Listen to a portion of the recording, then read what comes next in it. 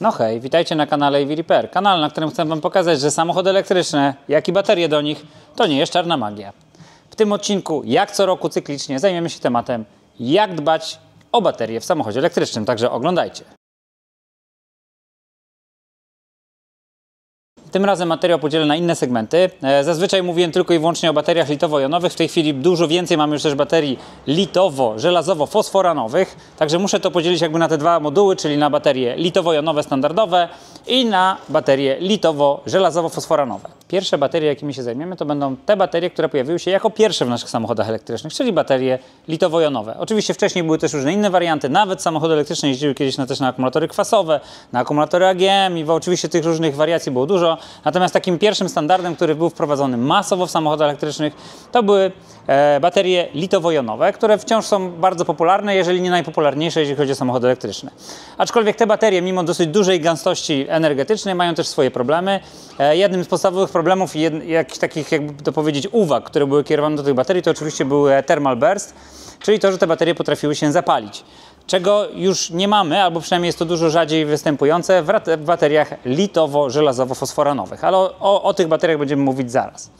E, te baterie e, litowo-jonowe oczywiście mają tą przewagę, że bardzo fajnie e, gromadzą energię, bardzo fajnie ją wydają, natomiast wymagają od nas specjalnej opieki i, ma, i mniej więcej wiemy i rozumiemy ten standard, mając do czynienia też z tymi bateriami, na przykład w telefonach czy w laptopach.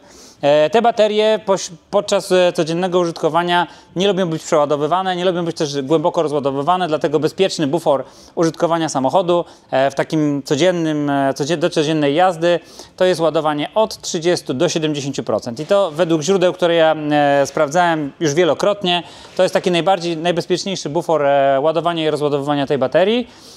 Ogólnie mówi się o 20 do 80% nie należy w normalnym, codziennym użytkowaniu przekraczać tych 80, natomiast jeżeli jedziemy, jedziemy w trasę, czyli tak jak na przykład mi się wielokrotnie zdarzało jeździć, nie wiem, do Hiszpanii, to oczywiście wtedy e, walimy superchargerem do 100% i jedziemy jak najdalej, jak najszybciej się da. W tej chwili stoimy pod baterią typowo litowo-jonową, e, która jest zamontowana w Tesla Model S, która wisi sobie tutaj teraz na podnośniku.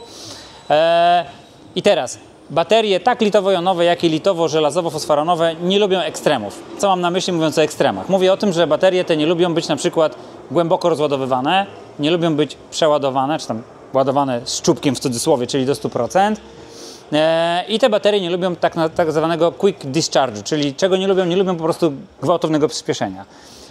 Powtórzę to, co mówiłem wielokrotnie na wszystkich materiałach. Oczywiście, kiedy stoimy samochodem elektrycznym na światłach i obok nas stoi jakiś samochód spalinowy, który tam mocno się flexuje, żeby się z nami ścigać, no to oczywiście no, nie ma innej, innej metody, jak to pokazać mu, e, gdzie raki zimują. E, ale ogólnie raczej starałbym się unikać e, takiej właśnie szybkiej akceleracji. Ja na przykład już nauczony doświadczeniem staram się raczej jeździć spokojnie, e, staram się jeździć na chillu, bo wiem, że mi to przedłuży e, działanie baterii. Dodatkowo baterie nie lubią ekstremów też w kontekście temperaturowym, czyli baterie nie lubią być przechowywane na zewnątrz, kiedy są bardzo, bardzo zimno jest, tak? Temperatury są bardzo niskie i nie lubią być przechowywane w słońcu. I tutaj o, nowoczesne systemy, które tak naprawdę zaczęły się w zasadzie wraz z Teslą, dbają o to, żeby temperatura tej baterii bez względu na warunki była utrzymywana. Natomiast powoduje to coś takiego, że jeżeli na przykład taka Tesla jest przetrzymywana na zewnątrz w bardzo zimnym e, środowisku, czy w bardzo gorącym, to ta Tesla będzie nam konsumowała energię z tej baterii po to, żeby utrzymywać warunki temperaturowe wewnątrz baterii. Always charge, czyli zawsze, jeżeli macie taką możliwość i samochód stoi na zewnątrz, a w szczególności kiedy jest poda- jakby wystawiony na działanie bardzo negatywnych warunków zewnętrznych, trzymajcie samochód podłączony do, e, do sieci, żeby mógł sobie używać energii zewnętrznej do tego, aby utrzymywać e, warunki temperaturowe w baterii. Tak? Czyli wyrównywać tą temperaturę tak, żeby te ogniwa były optymalnie utrzymywane i żeby ich oczywiście żywotność się wydłużała. Kolejnym aspektem, który doszedł do tej naszej, może nie tyle co wiedzy, ale do tego kompendium z rzeczy, które trzeba robić przy samochodach elektrycznych, żeby dbać o baterię, jest dbałość o układ chłodzenia. I to jest to, o czym mówiłem, to jest jakby e, kontynuacją, czy emanacją tego wątku, o którym mówiłem wcześniej, jeżeli chodzi o warunki temperaturowe. Po prostu Układ chłodzenia decyduje o tym, jak ta, w, jaki, w jakiej temperaturze ta bateria będzie przechowywana. Układ chłodzenia, jaki układ klimatyzacji, jaki oczywiście układ przewietrzania. Czyli cały ten układ odbioru temperatury z baterii jest ważny, należy o niego dbać i trzeba dbać przede wszystkim w takiej wersji podstawowej. Czyli trzeba dbać o to, żeby nie były, nie wiem, przy wszystkich tych kanałach powietrznych, żeby nie znajdowały się liście, żeby nie blokowały radiatorów, żeby wentylatory sprawnie działały, ale oprócz tego musimy też dbać o to, żeby nasz płyn chłodniczy był w dobrej kondycji. To są rzeczy, których nie należy w żaden sposób bagatelizować. Kolejna rzecz, która szkodzi bateriom, e, wszystkim w podobny sposób, ale litowo-jonowym w szczególności, to jest e, szybkie ładowanie. Oczywiście szybkie ładowanie jest nam niezbędne w momencie, kiedy podróżujemy. E, bez szybkiego ładowania nie bylibyśmy w stanie nigdzie dojechać w rozsądnym czasie. E, natomiast szybkie ładowanie oczywiście wydatnie skraca żywotność baterii, szczególnie jeżeli jest nadużywane. Aczkolwiek z drugiej strony muszę Wam powiedzieć, że mieliśmy wiele przypadków Tesli, które miały gigantyczne przebiegi, po 700 tysięcy, nawet po 800 tysięcy kilometrów i niektóre z nich były notorycznie ładowane na superchargerach, bo były na przykład na taksówce w Holandii i wbrew pozorom te baterie nie miały wcale tak dużej e, tak dużego zużycia, tak dużej degradacji. Natomiast ogólną zasadą jest to, że szybkie ładowanie, czyli szybkie e, wtłaczanie energii do baterii powoduje, że ta bateria po prostu będzie nam się chemicznie zmieniać e, i będzie się degradowała. E, dlatego jeżeli mamy taką możliwość, korzystajmy z naj, możliwie najniższego prądu ładowania pod domem i ładujemy sobie samochód na spokojnie. Ja na ten przykład ładuję z jednej fazy 16-13 amper. Po prostu tak czy siak w przeciągu nocy jestem w stanie ten samochód naładować. E, do tych 80%, bo akurat wszystkie moje samochody, które używam, mają baterie litowo-jonowe e, i mogę spokojnie tego samochodu na drugi dzień używać, czyli do cyklu miejskiego, czy do takiego cyklu ruchu podmiejskiego, kiedy nie przekraczamy tych zasięgów 200 km, takie ładowanie jest w zupełności wystarczające. Znowu, jeżeli jedziemy w podróż, oczywiście całkowicie wyłączamy tą zasadę i wtedy ładujemy się superchargerem na tyle, na ile to jest potrzebne. Aczkolwiek jeszcze jedną rzecz zauważyłem i ona jest też w pewnym sensie powiązana z dbaniem o baterię, ale z drugiej strony troszeczkę zmienił się też sposób użytkowania samochodu elektrycznego. Kiedyś jadąc na Supercharger staraliśmy się go naładować na maksa. Szczególnie, że też kiedyś e, królowały samochody z darmowym e, dożywotnim e, superchargingiem, czyli ładowaniem. Natomiast w tej chwili tak naprawdę jedziemy, żeby jak najszybciej dojechać. I wychodzi na to, że najlepiej jest naładować do 80-90%. Wtedy, kiedy ten samochód się relatywnie szybko ładuje i jechać dalej. I udowodniliśmy sobie tą tezę jadąc ostatnio Teslą Model 3 SR Plus z Polski do Czech i z powrotem. Tam, jeżeli pamiętacie, zrobiliśmy troszeczkę powyżej 2000 km i właśnie tak żeśmy samochód ładowali. Teraz parę słów uzupełniających odnośnie baterii litowo-żelazowo-fosforanowych, czyli technologii, która oczywiście nie jest jakaś super, super nowoczesna, natomiast ona jest coraz częściej używana w samochodach elektrycznych i bardzo mocno stawiają na nią firmy chińskie.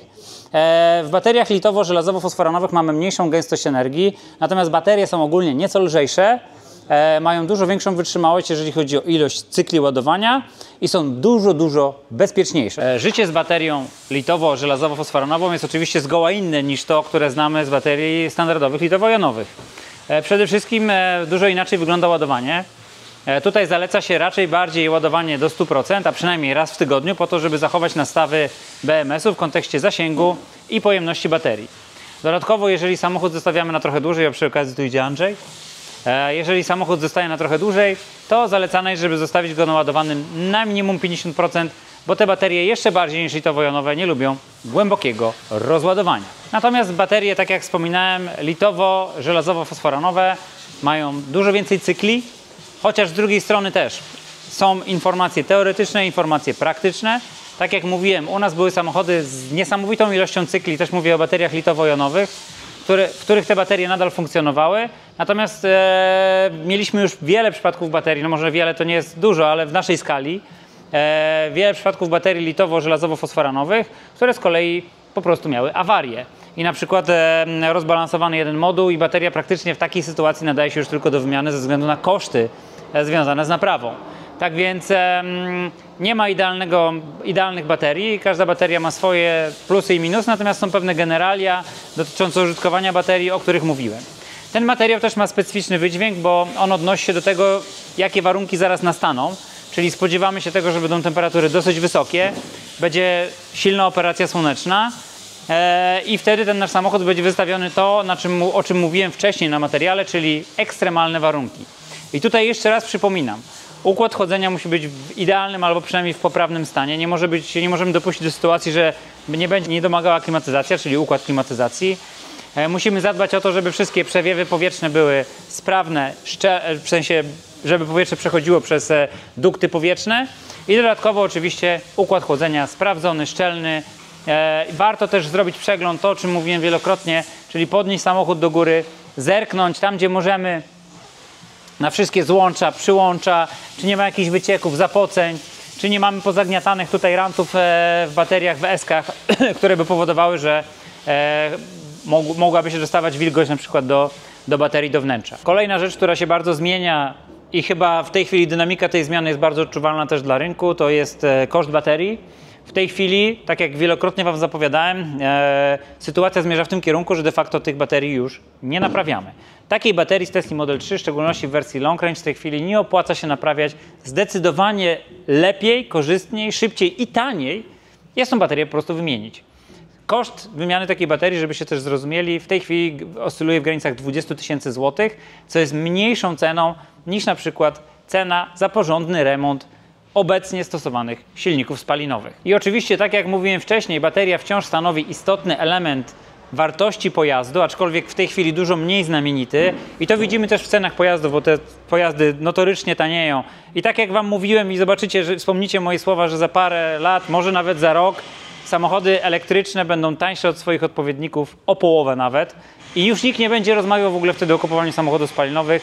I samochody spalinowe przejdą do skansenu i będą ludzie z nich korzystać tak jak ja korzystam ze swojego golfa, czyli w sposób rekreacyjny. Natomiast nie to jest e, jakby clue naszego, e, jakby nie to jest clue naszego materiału. Clue naszego materiału jest takie, że w tej chwili oczywiście nadal należy dbać o baterię, tak jak należy dbać o wszystko, z czym mamy do czynienia w życiu, bo to też jest kwestia pewnej odpowiedzialności środowiskowej. I nie chodzi o to, żeby każdą baterię zakatować, za dwa lata wymienić, a tą wyrzucić na śmietnik, bo nie o to chodzi, aczkolwiek znowu z takiej zużytej baterii w obecnej chwili zakłady utylizacji są w stanie odzyskać do 97% materiałów w postaci surowca, więc de facto jakby ten problem też znika. No ale znowu, to jest kwestia odpowiedzialności. Jeżeli możemy tą baterię używać jak najdłużej, to po prostu używajmy.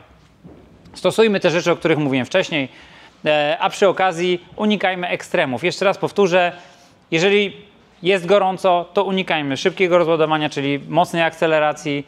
E, Unikajmy, jeżeli, jeżeli możemy, szybkich ładowań. E, Zostawiamy samochód w momencie, kiedy jest szczególnie jest nastawiony, znaczy wystawiony na, na operacje słoneczne i na wysokie temperatury.